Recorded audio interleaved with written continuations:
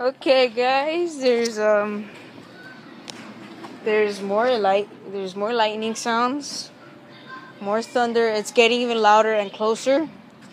It's starting to sprinkle, and my mom's all like, "Oh no, we're gonna be okay." I'm like, ah, as if, oh shoot, the earphones get off. Yeah, I don't think we're gonna be okay. It's getting closer. It's scarier. People are, yeah, I can hear the things. Yeah, I'm gonna go back and help them.